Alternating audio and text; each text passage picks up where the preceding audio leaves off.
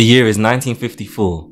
The newly forged state of Israel, barely five years old, stands precariously on the precipice of survival. The shadow of the Suez Crisis looms large, with tensions between Israel and Egypt reaching a fever pitch. The British presence in the Suez Canal and unwavering support for Egypt fuel Israeli insecurities, pushing them to contemplate desperate measures in the name of national security. This backdrop of fear and paranoia sets the stage for a scandal that will not only rock Israel to its core, but also cast a long and unsettling shadow on its future, the Lavon Affair. During 1954, Egypt saw a power struggle within the Free Officers Movement, the group that overthrew the monarchy in 1952. President Mohamed Najib, initially popular, was forced to resign by Gamal Abdel Nasser. He would go on to become one of Egypt's most influential leaders. This shift solidified the military's control over the government and laid the groundwork for Nasser's nationalist and socialist policies. Though Egypt formally gained independence in 1922, British troops remained stationed in the country, particularly along the Suez Canal. This heavy presence and influence was one of the key reasons why Israel felt threatened.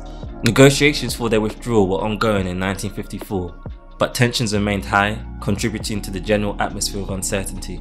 The political upheaval and continued foreign presence created a mix of anxiety and anticipation among Egyptians. Many yearned for true independence and social progress, while others feared further instability. This complex sentiment would fuel significant events in the years to come, including the Suez Crisis of 1956. At the heart of this complex saga lies Operation Susanna, a covert mission conceived by Israeli military intelligence under the leadership of Chief of Staff Moshe Dayan and approved by Defense Minister Pinhas Lavon. The audacious plan, driven by a potent cocktail of desperation and hubris, aimed to destabilize Egypt through a series of bombings targeting American and British cultural institutions in Cairo and Alexandria. The rationale? To sow discord between Egypt and its Western allies, ultimately hindering British withdrawal from the Suez Canal and forcing them to reconsider their pro-Egyptian stance. Operation Susanna, however, was not the brainchild of seasoned intelligence operatives, but rather a product of political calculations and internal power struggles. Lavon, a rising star within the Mapai party, found himself embroiled in a bitter rivalry with Prime Minister David Ben Gurion. The operation, fueled by a desire to demonstrate Lavon's effectiveness and gain an edge in the power struggle, ultimately became a pawn in a much larger political game. Recruiting for this clandestine mission fell upon Avram Darom, the head of Israeli military intelligence in Egypt. He turned to a network of Egyptian Jews, many of whom were motivated by a complex mix of patriotism, loyalty to Israel, and a personal grievance against the Egyptian regime. Among them were Dr. Moshe Marzouk, a prominent physician, and Samuel Azar, a young student, both of whom would later become pivotal figures in the unfolding drama. The chosen targets, libraries, cultural centres and information offices, were meticulously selected to avoid direct casualties, aiming instead to inflict economic damage and create chaos. However, the bombs, meticulously crafted by technicians within Israeli military intelligence, were plagued with flaws. Several detonated prematurely, injuring civilians and raising immediate alarm bells. Others failed to detonate at all, adding to the air of confusion and incompetence.